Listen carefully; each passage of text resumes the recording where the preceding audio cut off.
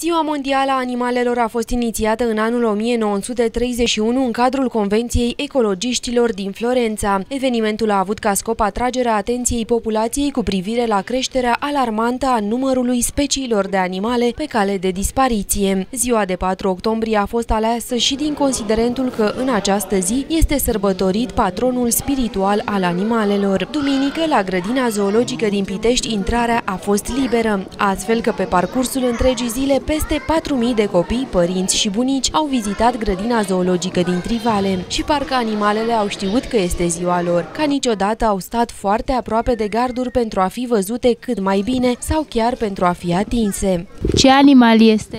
Tauri. Da? Ce... Vezi ce coarne mare? Da. Da. Ai mai fost atât de aproape de vreun, de vreun taur până acum? Nu. Nu? Dar la zoo ai mai fost? La zoo nu. Da. Nu. E prima dată când vii la zoo? Da.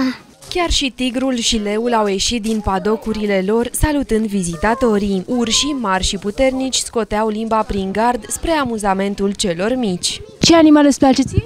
Ursul. Ție? Camila. Mie leu. Taurul e mai puternic decât leu. Și e mai mare de tot. Și are coarne mari. Și are și coată. Și coadă? Da. Și tu zici că taurul e mai puternic ca leu? Păi și nu e leu rege al animalelor? Pe taurul e regele animalului, pe, tul, pe tot taurul îl împunge pe leu. Și taurul are coate. Da? Coarne are.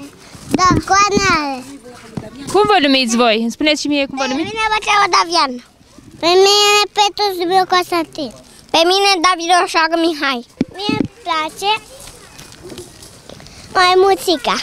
Grădina zoologică poate fi vizitată în fiecare zi de marți până duminică între orele 10 și 19.30. Un bilet de intrare pentru adulți costă 5 lei, iar pentru copii de peste 3 ani, pensionari și studenți, costă 3 lei. Copiii până la vârsta de 3 ani au intrarea liberă. Pentru grupurile organizate de peste 10 persoane se percepe o taxă de intrare de 2 lei de persoană.